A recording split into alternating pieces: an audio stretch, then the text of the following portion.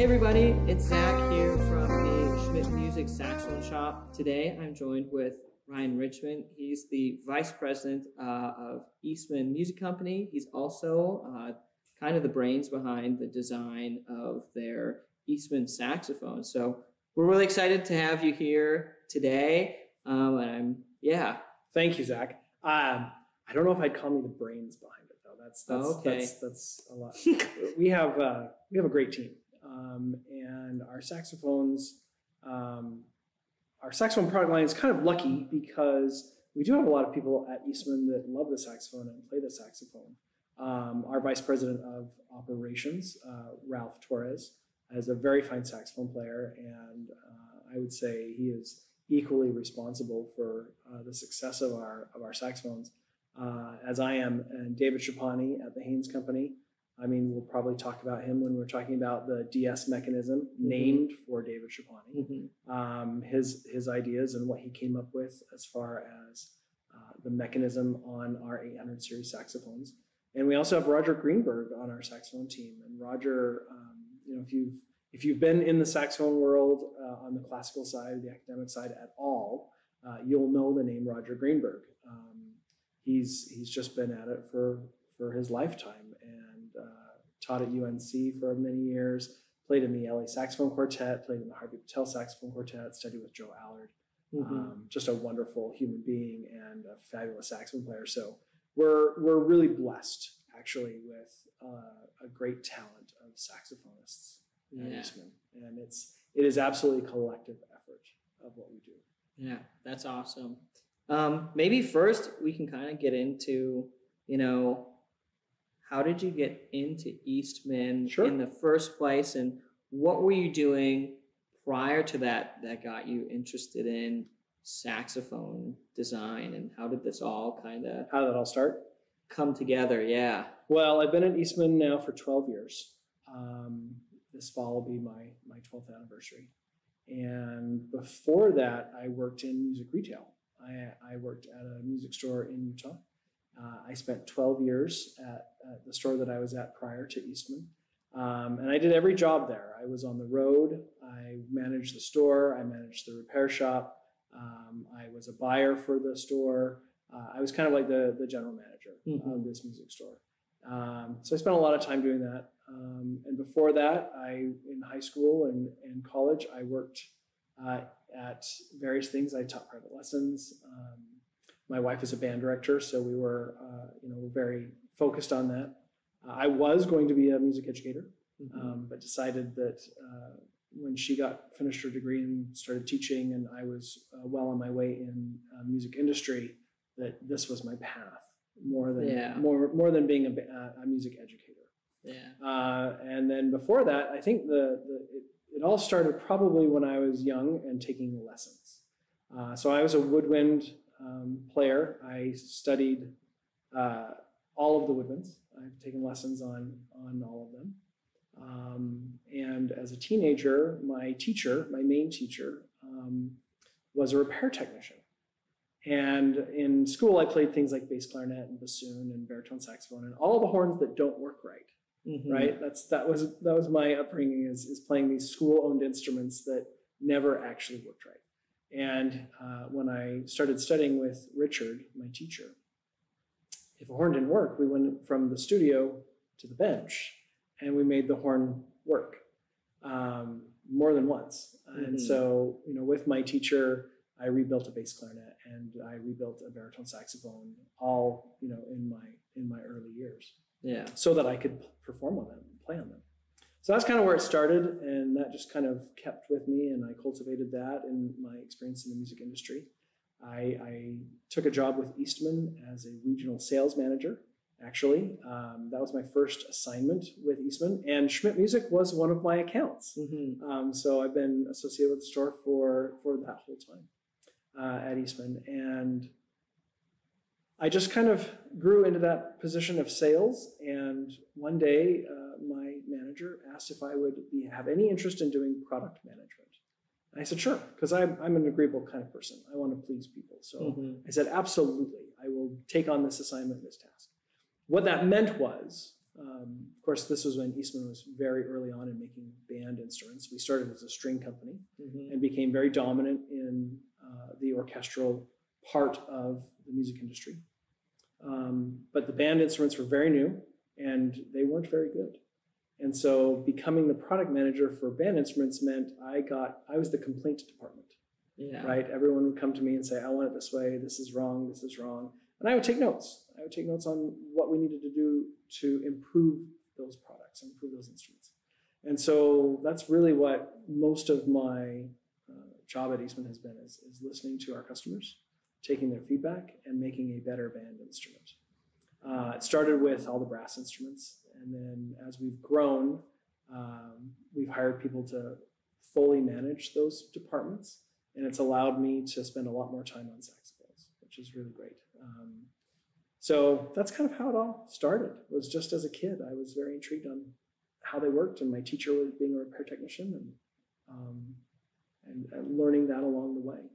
So that's kind of my my story through my musical career. Yeah.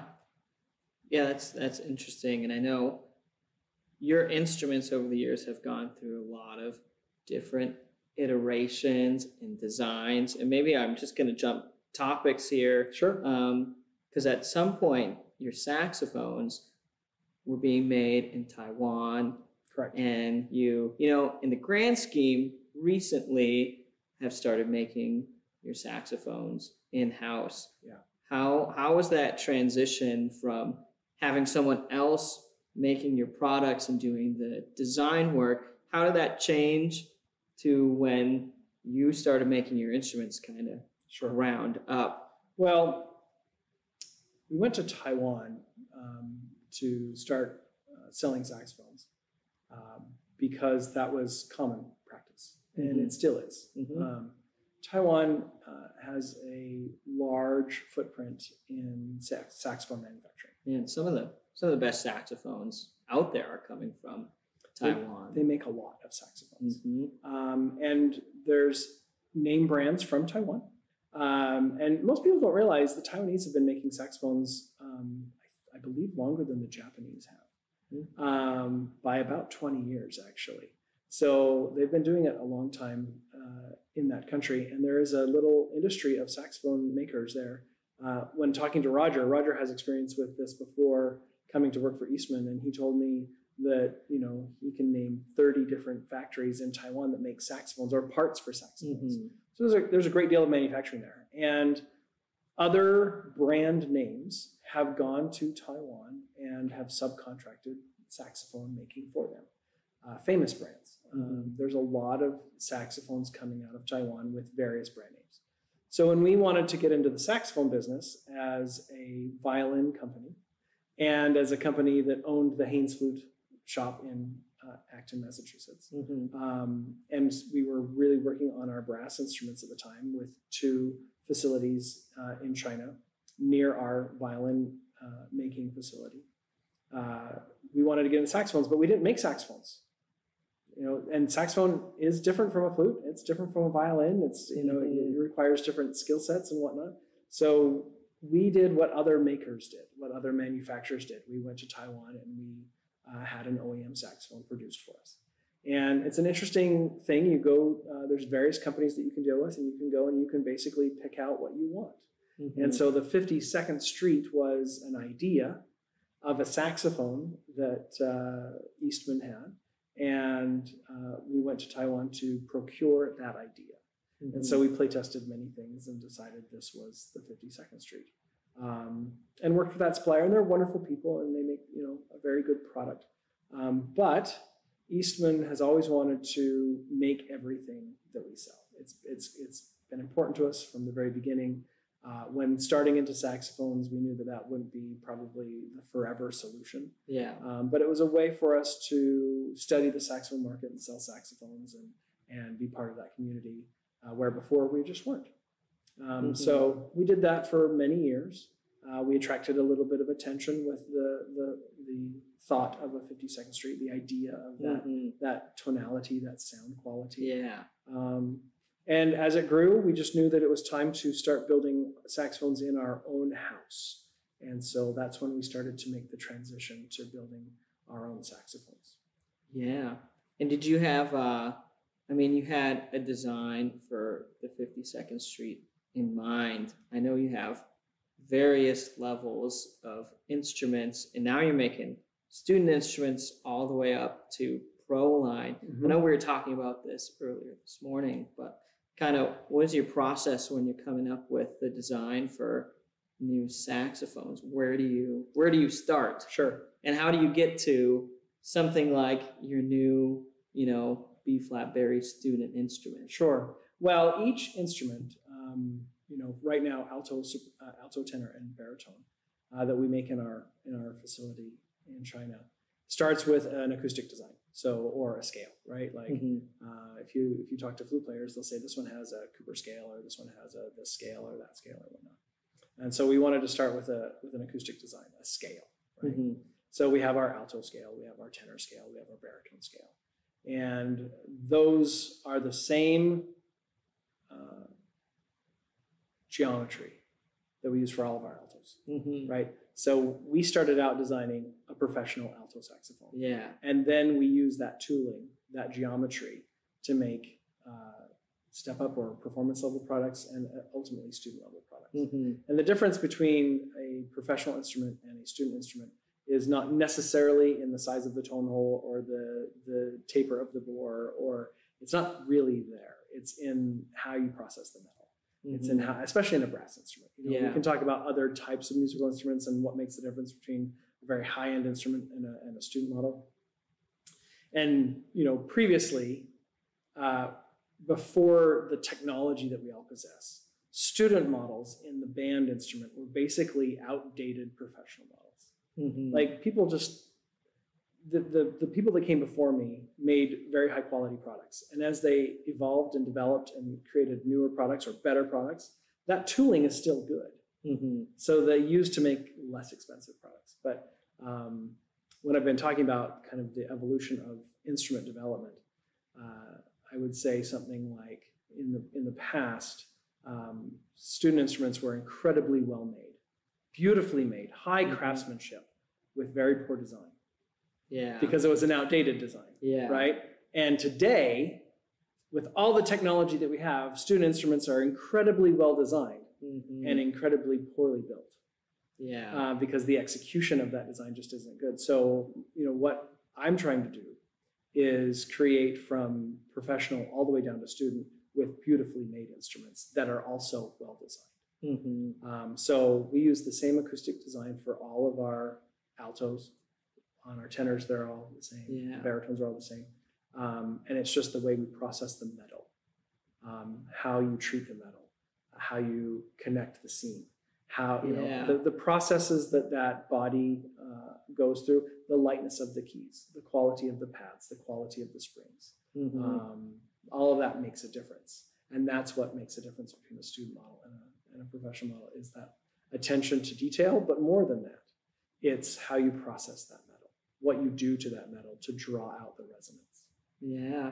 Do you think uh do you think having the same design in Eastman student saxophones, I know it's not the same exact design, but it's it's similar top to bottom, the tone Mhm. holes and everything, the keywork. The geometry is the same. Exactly. Mhm. Do you think that makes the transition into like that next step up Eastman instrument easier because it feels similar? Probably, you know, if you are comfortable with the way an instrument tunes, as Yeah. you want more resonance and uh, more responsiveness and more core in that sound, yeah, you're going Mhm. to feel more comfortable because um, it will be very familiar. Yeah, I've I've found with a couple of brands they'll come in with their student instrument, and I always want to hear kids on their student instrument before we start looking at that next step. And you do find with some brands they get on that next level within the brand, and they're like, "This feels really comfortable." Yeah. it's because it's the same brand. Yeah. The keywork feels really similar Sure. and the intonation and how it blows feels pretty similar. It's just, you know, that next quality up and how Right. that instrument was put together. And Yeah. we talked about too kind of the the craftsmanship that goes into your top of the line and how much you spend, you know, really fine tuning um, the stuff Sure. at the top. Yeah, when you're talking about a high-end setup, um, and this is something that's super important to me because I think a lot of modern instruments are not really set up very well, uh, and so we make so much effort uh, is put towards uh, the finishing of our products. We buy Mhm. very high-end pads. We make our own resonators. Um, I, I think we might be the only manufacturer that has a screwback resonator on our high-end model, on our flagship Mhm. model. I don't know if another maker does that. Um, so we, we use our own resonator that's a domed brass resonator on our 800 series. Um, we use the highest end Pisoni pad. Um, we use really high end uh, silencing materials, uh, the tech corks and the felts and the, you know, it's all um modern and, Mhm. and quick and quiet. And so we, we go that extra level in our setup, um, uh, even down to the shape of our key cups. Like we do so much to emulate great horns of the past and have a beautiful setup on these instruments. So that makes a big difference. But it doesn't it doesn't mean that the student models shouldn't play well and it shouldn't Mhm. seal. So we use a good quality Italian pad on our student models, just not the most expensive one. Yeah. Right? We use high quality corks. We just don't use the most advanced synthetic type Yeah. materials on the on the student one. So even though the geometry is the same, you know, the finished product is made to hit a price point. It's made to be more affordable, more accessible. But it still means it, it still doesn't mean that we don't want to have a good scale Yeah. and that we don't want it to be Yeah. comfortable. It has to be all those things. And I'm sure you guys are doing this too, where you know you're thinking of longevity of saxophones and instruments in a whole, and you're probably bringing up you know young people into the craft too, and like having them help help get those student instruments going out the door doors. Like great experience for people who will eventually, hopefully, be working on your top of the line saxophones. Sure, you know? absolutely. Yeah, everything's, uh, you know, our workshops, uh, we have people that have been with us for a long time Mhm. and they grow in experience. And uh, so, yeah, everyone has an opportunity to advance. Yeah, yeah, that's good to hear. Um, well, something that's kind of new and exciting in the saxophone world is your new 52nd Street tenor saxophone that just launched, the Yeah. 852. Um, the standard 52nd Street has been around. Well, since you guys have been making it in house, how long has that been around? Uh, it's been, let's see, I always lose track of time with the pandemic um, because that, that gap, you know, I Uh-huh. want to say it's been like five years, um, Yeah. but it's probably been more like six or And- seven. And then before that, how long were they being made in the Taiwan? we started in 2010. Okay, Yeah. So probably about Seven years or so. Yeah. yeah. Yeah, Yeah. gotcha. So, I mean, what is what is new in the 852 Yeah. compared to the The standard 52 that you have been? And I know you probably have some trade secrets and you can't get into specific numbers and stuff like that. Yeah. But I'm curious, like, what is the difference in in those two models? Sure. Well, um, when I think of our 600 series saxophones versus our 800 series saxophones, Mhm. and this is kind of true both for the Rue St. George, uh, Mhm. model 650 and 850, as well as the 52nd Street. Um, I think of uh, one huge difference is keywork, Mhm. right? So you can't really talk about the 800 series saxophone without talking about keywork because that's what sets it apart. That's the biggest one thing yeah. that sets it apart from from the 600 series. The 600 series has a very nice uh, keywork. It's it's it's familiar, right? Mhm. Like it feels like a saxophone. It feels really comfortable. Mhm. Uh, the 800 series keywork, uh, or the DS mechanism, named for David Schiavone, is a mechanism that David uh, developed uh, at the Haynes Company. And David is a flute builder. Um, he's been doing this maybe almost 40 years, probably, where he's Yeah. been making high end custom flutes uh, in the Boston area. And he's a saxophonist. And so the idea of having David create something new for saxophone was really appealing to us. We, it's something we wanted to do. Yeah. Um, and we said, David, just just create, just do something yeah. that you want to do. Uh, we didn't give him any instructions. We didn't say we wanted it to feel this way. We didn't say it has to be this or be that. We just said, here's a saxophone with a whole bunch of parts. yeah. Make a make a saxophone. The know? saxophone has, you know, enough issues to begin with, with does. intonation and Sure. the keywork design has just they're they're almost isn't a standard yet to this point because it just it always is changing. Well, I think the saxophone. Well, every musical instrument has an evolution, yeah, right? Every everything kind of develops and grows. yeah, Um, the saxophone is unique uh, in the world of, of wind instruments because I, I, you know, to me, it's the only one that was invented rather than evolving out of something more primitive. mhm, It's it's the newest member of the family. Um, and when you look at an instrument made by Mr. Sax versus an instrument made today, the average person might not even notice the difference. I mean, Mhm. they were really it hasn't changed as much as other things. Um, but when it comes to um, the quality of the mechanism uh, or the the quietness, the speed, the mhm. stability, you know, those types of things. Um, it's kind of been the same for a long time. You know, I think the modern saxophone really dates back to the 40s. I think that that when Mhm. uh, you know that era of saxophone making kind of set the standard for us, and a lot of our instruments are just you know uh, evolved from that that origin.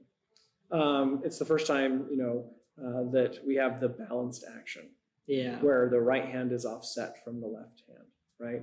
And it's more comfortable to play. mhm, And modern key shapes start to take form. And today saxophones are just, you know, versions of that a little bit, um, as far as the mechanism and the layout. Um, so the, the mechanism is the big difference. And Yeah. what David did was he took uh, cues from fine flute making yeah, uh, where the back feet are super stable, and that's really the the mechanism uh, part that that's the most important. So Yeah. like the key shapes and everything, that's sculpture, that's art, that's Yeah. beautiful, feels great under the hand. But and that's what most people notice that's right away when that's they right. It's pick like, it this up. they're feels like, so great, the silver touches are they're kind of nice, and uh, right? the bump on that low B Right. or low C sharp to Right. low B feels Feels pretty really good, right? nice, you know. Yeah. But there's so much more going Well, on the- that's not just the big yeah. thing the big thing is the back feet right and so you probably can't see but the feet on the back of the me- of the stacks so the Yeah. feet back here on the lower stack and of course you know the feet here on the back of the upper stack yeah, and that's the that's the part that's patented. Yeah, right? So that's the part of the instrument that we actually hold a patent on. And that that gives you this stability that the, the horn doesn't come out of adjustment as regularly. Mhm. um, you know this horn doesn't have any adjustment screws on it. So you have to have a really really fine setup. Um, Yeah. and that all contributes to this horn's um, playability and feel and um, so I, I just I love the back feet. You know that that's that's the nuts and bolts of the of the mechanism, the DS Yeah. mechanism. But but in addition to making fine flutes and now saxophones, uh, Mhm. David is also an artist. Um, he makes beautiful drawings of mechanism. Like we have it on the Haynes website. You can go to the Chapani drawings and you can see his pencil sketches yeah. of different keys on instruments. Maybe we can um, find that link and Yeah, it's we'll put it below. okay. So yeah, it's it's uh, you can see his sketches and also his sculpture. So David started out as a jeweler, and you know he made jewelry, and so the the key shapes were all hand done by David, Mhm. and that's what a lot of people feel. So it is that too, but the feel of of the basic um, keywork here is all because of that uh, back feet design, yeah, which you know he borrowed from making really high end flutes yeah, uh, but it works on the saxophone. Uh, and Yeah. it works really well. So that that you know when you're talking about the difference between six and eight in our lineup, that's the biggest difference. yeah, Um, the the other differences are um, you know on our on our Rue St George series, you're going to see more elaborate engraving.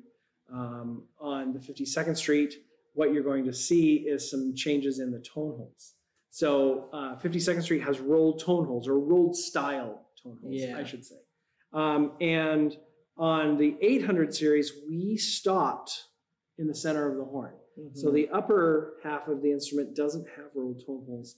The bottom half does. yeah, And uh, we found that we really loved the way that the extra mass on the bottom of the saxophone yeah, gave us this huge bottom end, this really big, fat yeah, sounding uh, lower end of the horn. And the removal of that mass, uh, the upper Mhm. end of the horn, gave us a really singing altissimo yeah, uh, really responsive altissimo. So kind of cutting it in the middle and and keeping some of the flavor of that original 52nd Street for the bottom, but changing a little bit the top Yeah. to make it a little bit more responsive. And you know, we're talking about players, you know, who are playing vintage horns, going to modern horns. Yeah. Um, and and how some some of those players feel like they're kind of missing out in that variety of tone that their vintage horns have. Right? And I think like that design is a is a nice way for like the low end sounds and feels one way, and as you transition up the horn, it starts to you know kind of open up and get a little bit more colorful because there's there's a lot of really great modern horns out there that the tone is is pretty darn even from the bottom to the top of the horn and for some type for some type of music that's really nice for for like the jazz rock and pop player Mhm. um, I think having that variety of tone is is is nice. Um, I think that's a good way to like bridge that gap between those people who are playing on vintage horns that kind of want to stay in that sound, but they want an instrument that just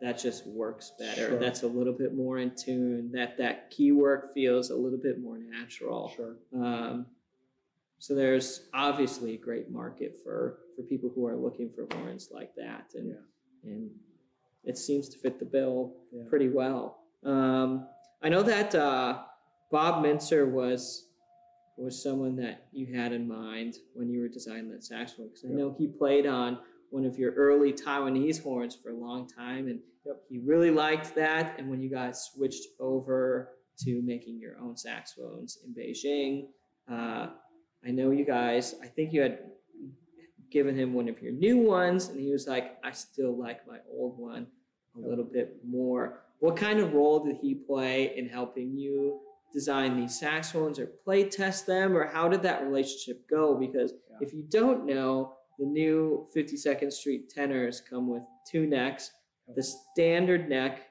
that the 52s have always come with, and it comes with a Bob Mintzer neck as well. So, how did that all happen Sure. with Bob? Well, Bob was, uh, you know, we, we met Bob early on in making saxophones, and it was because of his position at USC. Um, Ralph uh, and Roger took some saxophones to uh, just get Bob's feedback. Like, tell Mhm. us, do you like these? Yeah, Uh, you know, how are we doing? Are these good saxophones? yeah, And you know, Bob tells the story really well. He's like, the first time I kind of blew him off, uh, and he did. Like they had to go. You know, he's like, ah. The second time he they met with him at his home, and and Ralph Roger took these uh, saxophones, and he actually liked the soprano a lot.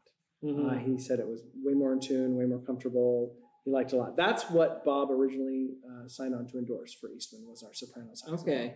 uh, and not the 52nd Street, just the standard uh, 642 model Mhm. uh, soprano saxophone. And I think he still plays that one actually, Mhm. um, but he doesn't play a lot of soprano. Uh, most of his his work that you know you see is tenor, um, and he didn't start playing the tenor right away. And so if you really look back in Eastman history and you look at the first ads, you'll see Bob playing the soprano, not the tenor Mhm. uh, because we weren't gonna we didn't want to make any false statements or anything like that. You know, Bob endorsed the the soprano. He played the soprano, and he also said that uh, if somebody's looking for a new horn, I recommend Eastman the most. Like that was that was the yeah. that was the endorsement. Yep. He continued to play on his vintage instrument, Yeah. um, and then the Yellow Jackets had a Japanese tour. And at the time, there was a lot of um, you know conversation about uh, the airlines not treating musical instruments very nicely. And Bob didn't want to travel to Japan on this long tour with his vintage Yeah. instrument. So he's like, you know what? I'm going to just take the Eastman. Yeah. Um, so he took the Eastman, and while on the tour, he noticed that all the sound guys were saying, "Hey, this is really a lot easier to mix. This is a lot easier to deal with Mm. on the sound side. It sounds better through these microphones. You know, this, that, and the other." And uh, at the end of the tour, Bob said, "You know, I think I'm just going to play on this." And so that tour with the Yellow Jackets and Bob not wanting to take his vintage instrument really gave him the opportunity to play the 52nd Street in all of these scenarios. And it turned out it was a really good instrument. And so Yeah. he used it, you know, for that for the rest of time until Yeah. we switched again. So he was a very staunch endorser of our product. He really did play that instrument. That was his main saxophone for those years. And when we wanted to build saxophones in our own facility, I let all of our artists you know, try them and give us feedback and help Mhm. develop that product. And when I, you're right, when I first gave the saxophone to Bob, he's like, this is nice, um, but I'm going to stick with what I have. He's like, but that key work, that key work I love on that Rue St. George. If you Mhm. could marry those two, that would be amazing. And Yeah. we, we had planned on doing that from the beginning. It's just one step at a time. Yep. Um, and so when it came down to it, and we did marry that key work to a 52nd Street body, I gave Bob the prototype. He's like, well, not yet. You know, it's not quite there yet. So we went back and forth. Um, and this was during the pandemic, mind you. Mhm. There was no traveling to the factory. There was no one-on-one, hands-on type of thing. This was Bob saying it should feel this way, and it doesn't. Mhm. And then me saying, okay, here, make this, do it this way, make it this size, do, and here, Bob, here's a prototype. Try. it. He's like, it's closer, but I want it to feel like this. Yeah. Um, and so we went back and forth for about three years uh, to finalize this model. yeah. Um, and so Bob was instrumental, uh, you could say, right, um, in creating this instrument. Yeah. Right? It wouldn't exist without his input and, and, and his feedback. yeah. Um, and my goal was very simple to not stop until Bob switched. Yeah. Like that was that was my goal. I wanted to make sure that uh, one of our premier artists was playing on uh, an instrument that people could currently buy Yep. right? That was super important to me because I want to have the people that endorse our product play on an item that other people can purchase.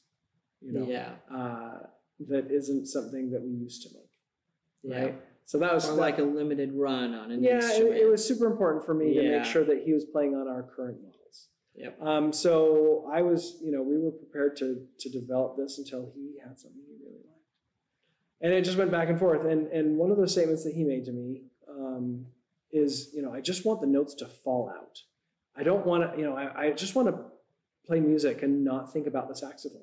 It has to be that intuitive, that comfortable, that, you know, it just has to feel that way. Yeah. I, I can't I can't think about the saxophone. I just got to think about the music. So I just want the notes to fall out. And I'm like, all right, well, how do I get the notes just to fall out? Yeah. And so we changed a few things, um, you know, mostly at the top end of the horn and, and at the bottom of the horn to make sure that he had that responsiveness that he was hoping for, that feeling of ease. Um, and so we developed the M neck. So we had an R neck and then an S neck. And it's people are like, what does that stand for? What do those mean? And it's pretty simple. The Rue St. George comes with an R neck. The 52nd Street comes with an S neck. Um, and then the M neck is named for Mintzer. Mhm. Um, and it just it helped him have that openness that he was looking for and that feeling of ease so those notes could just fall out. Yeah. Um, so that's what we developed for for this saxophone. Yeah, and I know uh, Bob plays on a pretty resistant mouthpiece and reed setup that is not super typical for a lot of people. Um, wh- where in your in your design timeline did you realize that I think we have to change something in the neck? Uh, well, I don't know the exact time when we, uh, you know, Bob. When I first met Bob, he was playing on a different mouthpiece, but he went back to something that he played for years before. So um, he plays on a Freddie Gregory, Mhm. um, and he plays with Woodstone reeds, um, Ishimori reeds. Mhm. Yeah, yeah. Um, and I, you know, I don't remember the strength. I think they're, I don't know, three and a half, four, something like that. Yeah. Um, and he does have a, a certain amount of resistance in his setup, and so we had to, I had to change the resistance here. Um, Mhm. but the funny thing is, is even like somebody who doesn't play on uh, a super hard reed setup will enjoy the openness of this horn. Yeah. Right. It's not too open. It's just open. And. It feels it feels really good to play. So you know we were I I uh, we were testing a lot of different things, um, and we decided to look at some of Bob's favorite equipment through the years Mhm. right? And measure a lot of different things that he had played on over the years.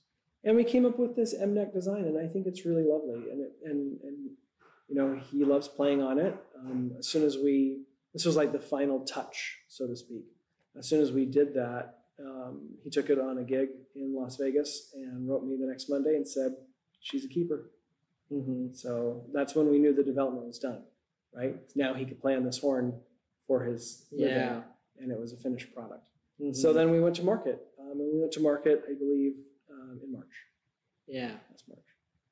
that's awesome. I know the first time we picked up the saxophones and we started with the standard neck on it.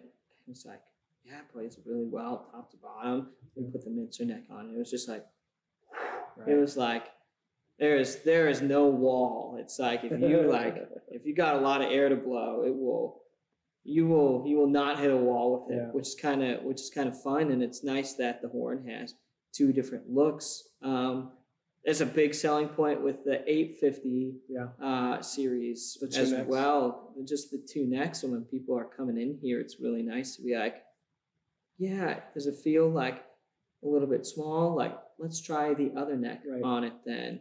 Um, and that flexibility is really nice. And there's really not any other manufacturers that, you know, the horn has two different looks with it out of the box, which is kind of nice. And sometimes kids come back and they're like, yeah, I play, uh, I play this neck in concert band, and then I play the other neck in jazz band with a different mouthpiece. Sure. Well, Um, and mouthpiece, you know, I, I mean, it can be very sensitive with mouthpieces, right? So you have to, uh, the, and and a great saxophone player in Los in in uh, Los Angeles once told me he's like, I think we play more on necks than we play on saxophones.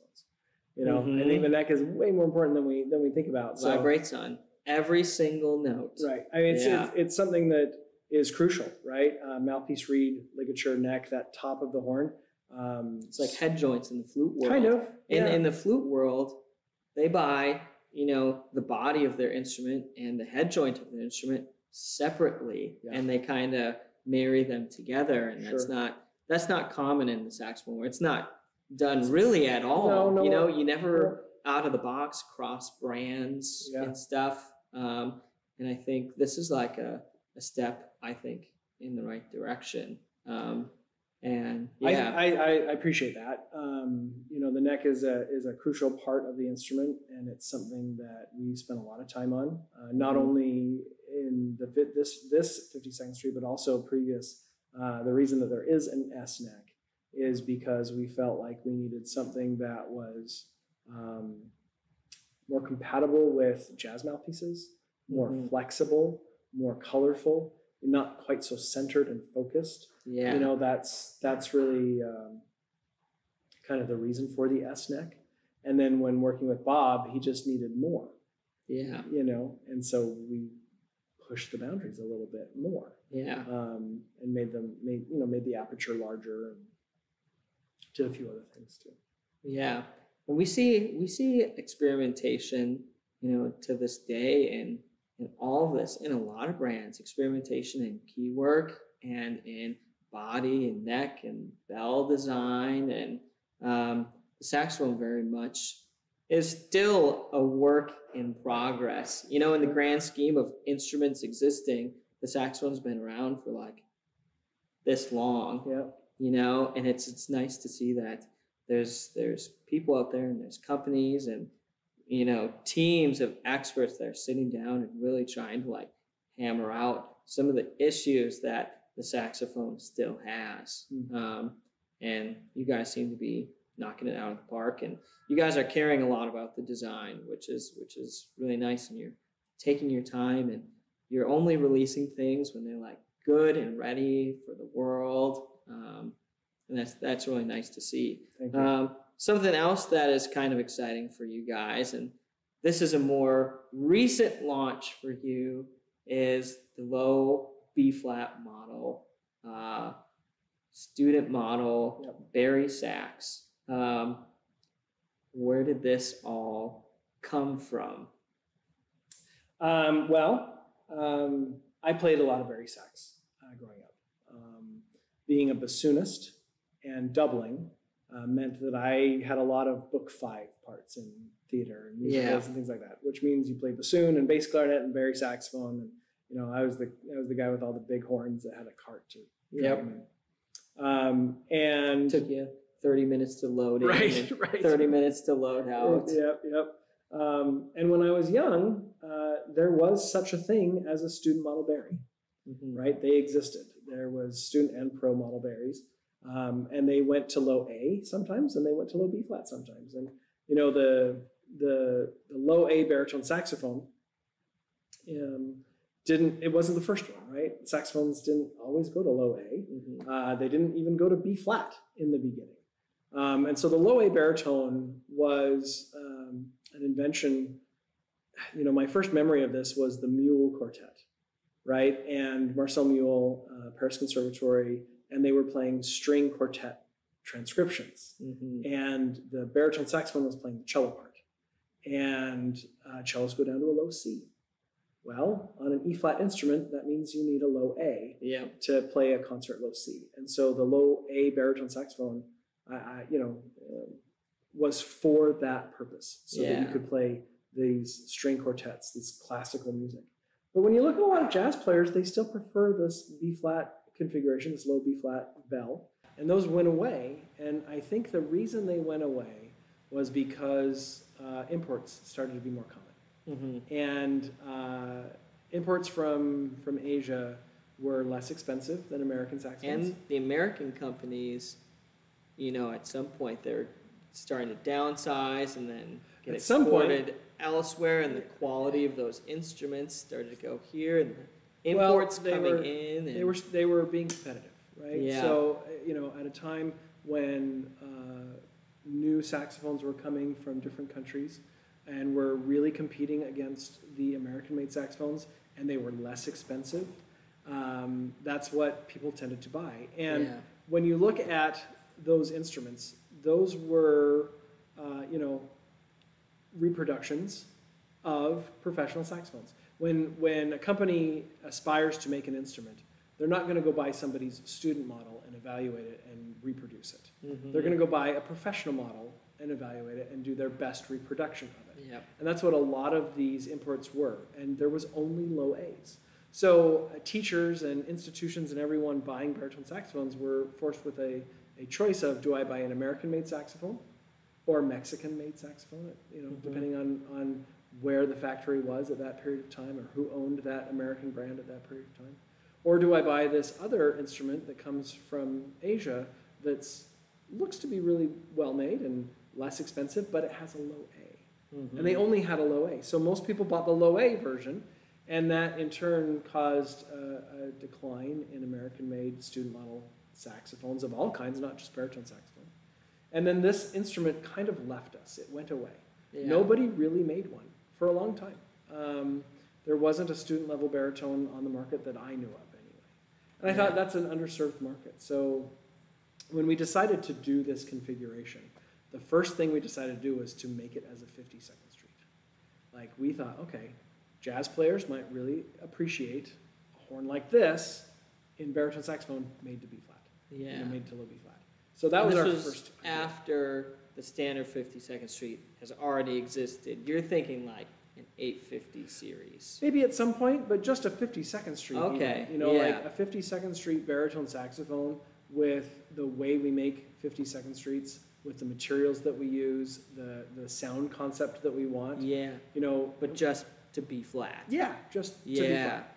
And so the idea started with that. Like, let's make a, an instrument, a, a professional baritone saxophone to low B flat as a 52nd Street. Mm-hmm. And then while we're at it, just like we do on all the other lines, let's make a student version too.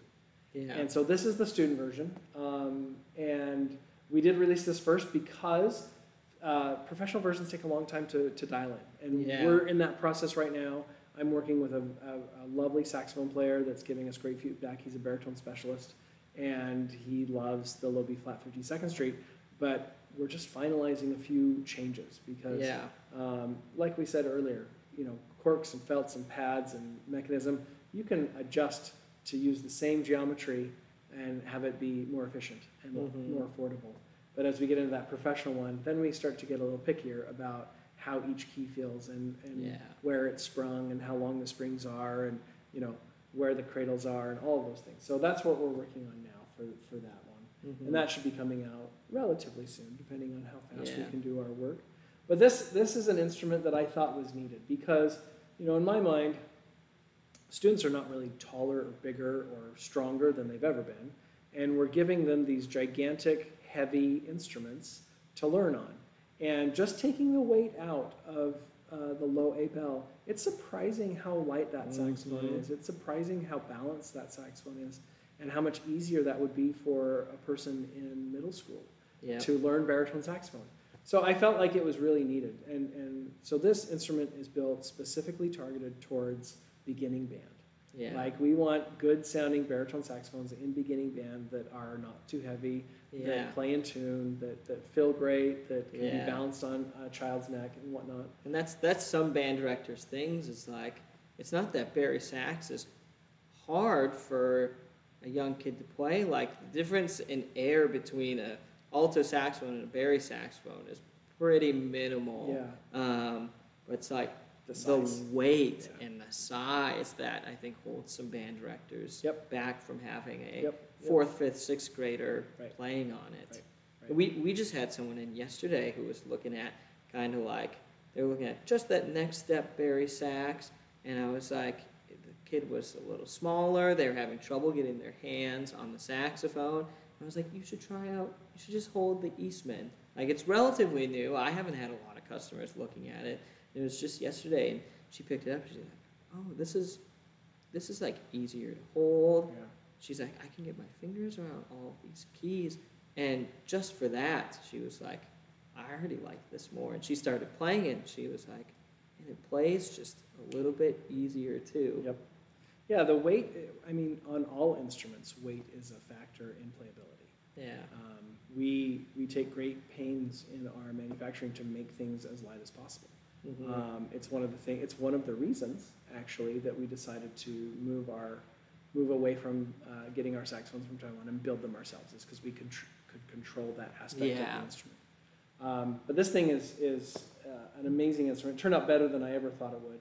Um, and you know, the idea came, uh, and we thought we want to use as many common parts as possible to make it efficient, easy to build, those kinds of things. Yep.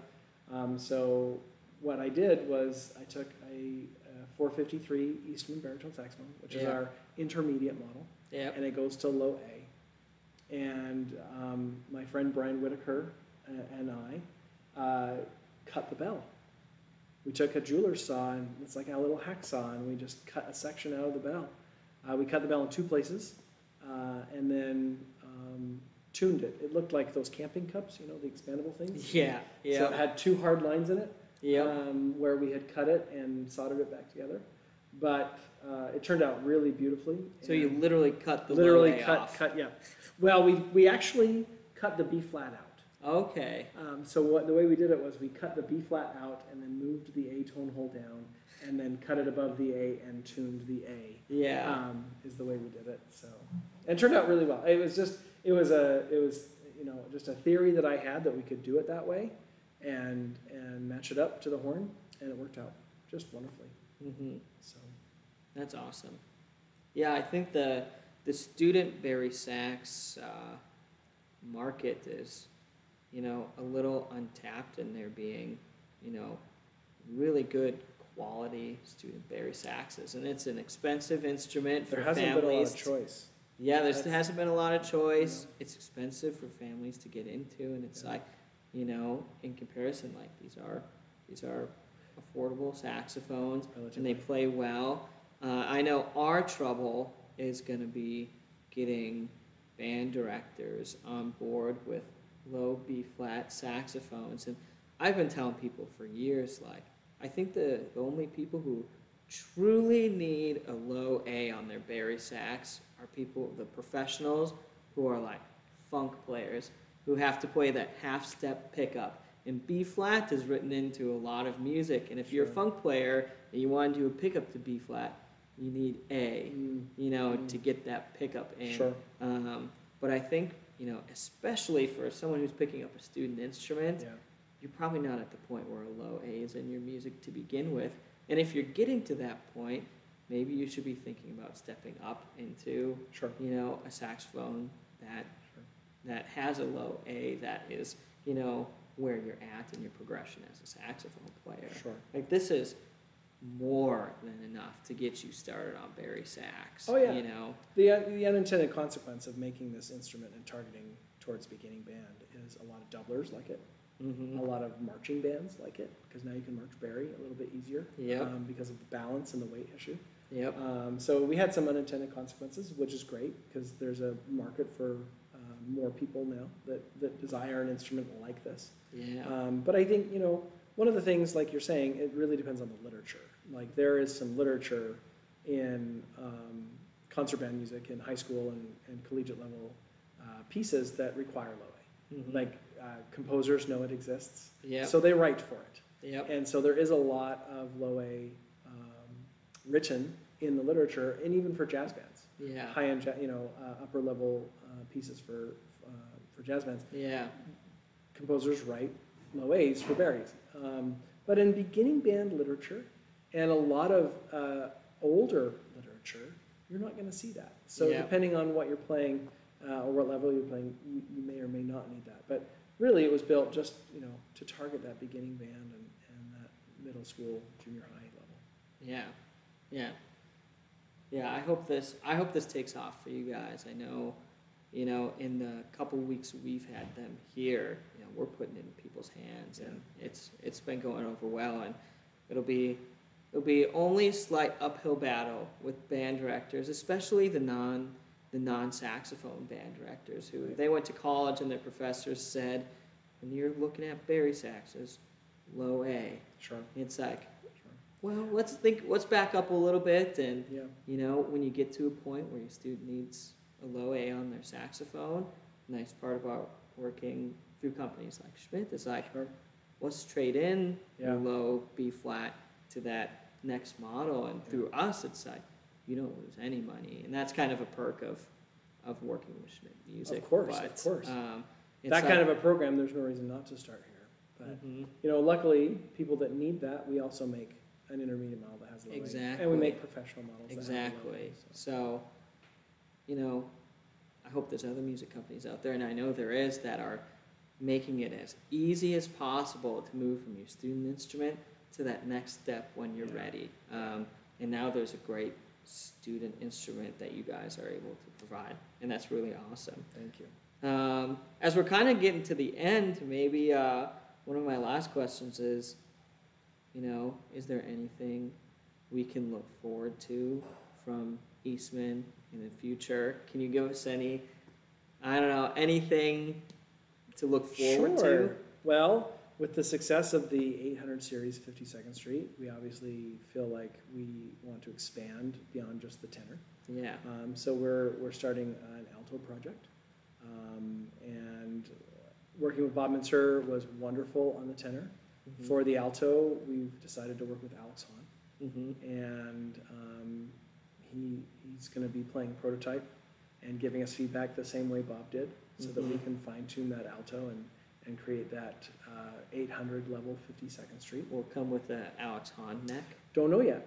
Okay. Uh, we we have no idea yet. We, we have to go through that process, Yeah. and we have to figure out.